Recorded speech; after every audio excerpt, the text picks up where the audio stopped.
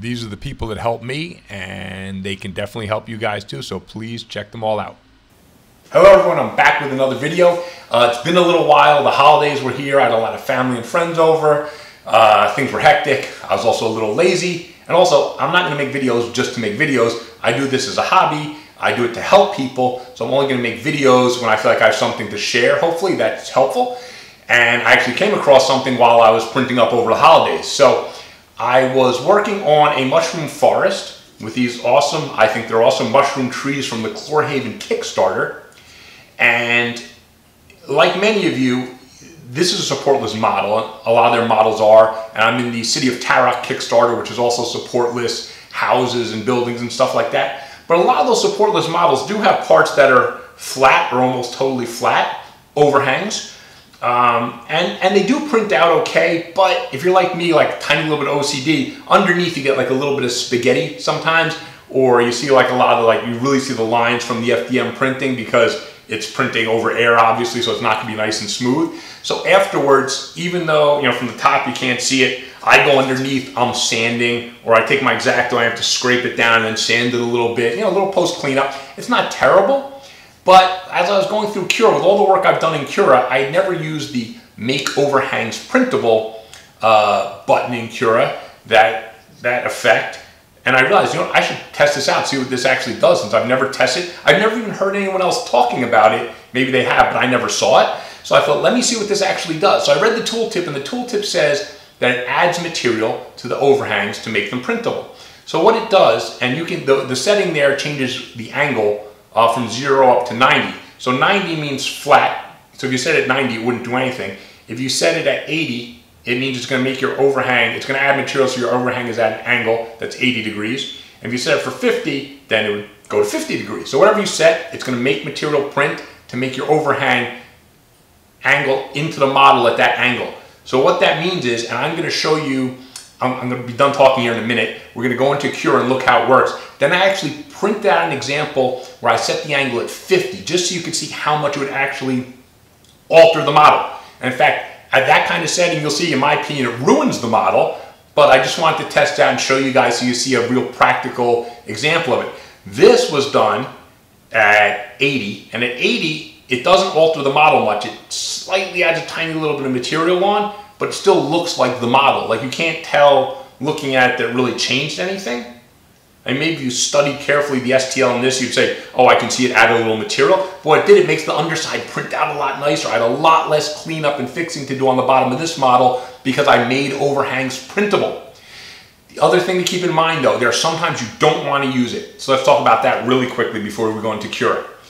This model is a part of a door on a, on a uh, Dwarven airship that I'm doing from uh, Printable Scenery. And one thing I discovered when doing this this was supposed to have square cutouts for pegs. As you can see, I don't know if you can see from this distance, it looks kind of ugly. It's because I had to drill them out. The reason I had to drill them out is I had to make overhangs printable on because this has some overhanging parts. I want them to, I really like the way it comes out.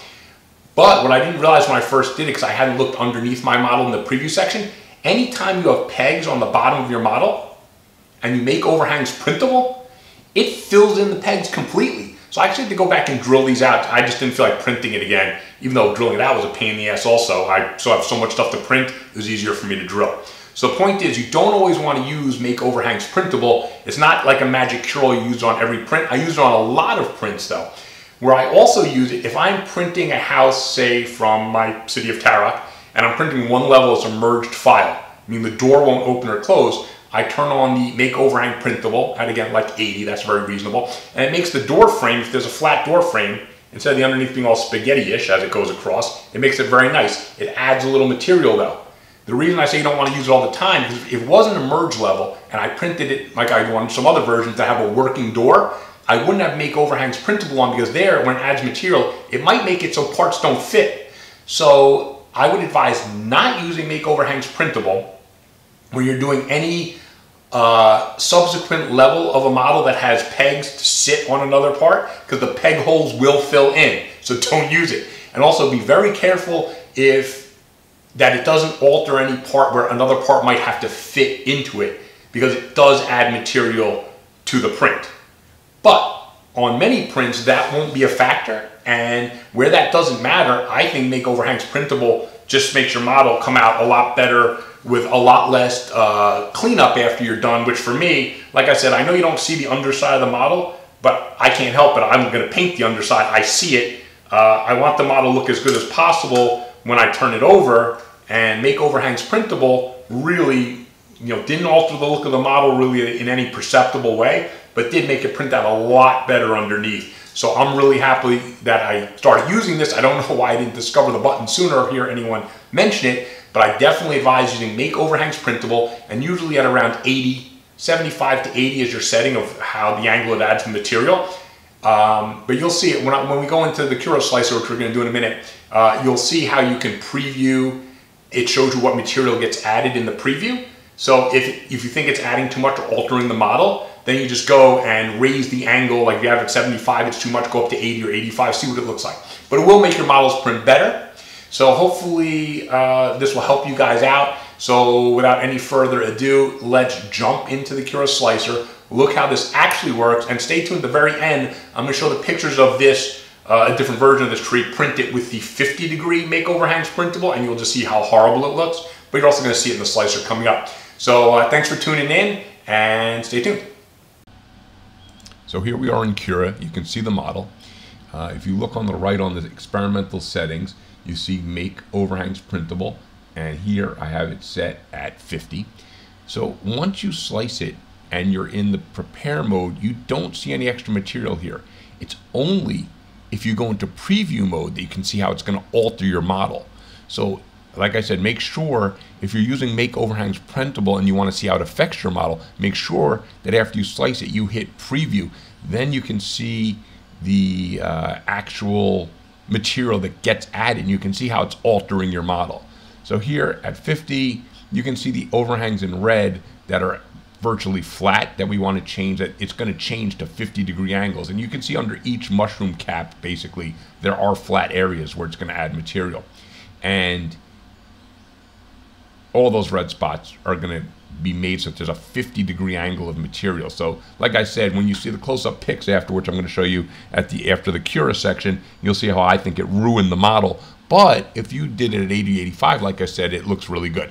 So here we're going into now. Now look, you see those huge triangles of material that were added, and that's actually how it's going to print out. So in, again, in prepare mode, you can't, you don't know it's going to do that.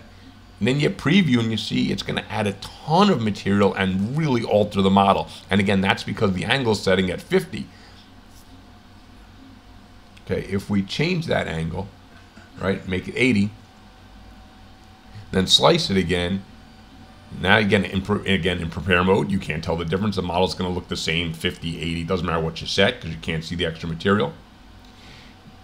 Okay, and unfortunately, slicers are not that fast. So once it's sliced again and we have a much uh, higher angle set, and then we go into prepare into the uh, preview mode, and as it prepares the layers, and then it'll show us. Now you can see it only added very little material. In fact, the, the model doesn't really look altered at all, but it has been. If you, if you click back and forth, you can see that that it has added a little bit of material on those flattest parts to angle them into the rest of the model. So the model's still going to look great when it's done. It's not, you're not changing what the artist did really, but those areas won't have the spaghetti-ish feel underneath or look or lines or, you know, it's just going to come out a lot better. So, you know, again, going back and forth, you can see it adds a tiny little bit of material. It's just going to make it print out better. And, and it does work well because I printed a bunch of them. But let's go into the 50 degree one and look at it from the top. Still looks fine, so maybe maybe you won't care that much. Although I think at the edge of one you can see a little material poking out. But look from the underside. It printed out those huge triangles of material, and to me, this ruins the model. This you know this model, the way that came out, I actually threw it out. I just printed it out so I could show you guys. But so you can see it really does sculpt on all this extra material to, to the angle you set. So it's a very interesting setting. I think very, very useful. Here's one's all printed out you know, with the eight set at 80 and, and, and they all look great. So uh, I hope you guys learned something today. I hope this makes your prints come out better, your overhangs come out better. And uh, please like, please subscribe, please check out my other instructional videos. And I hope everyone has some happy and successful 3D printing. Thanks.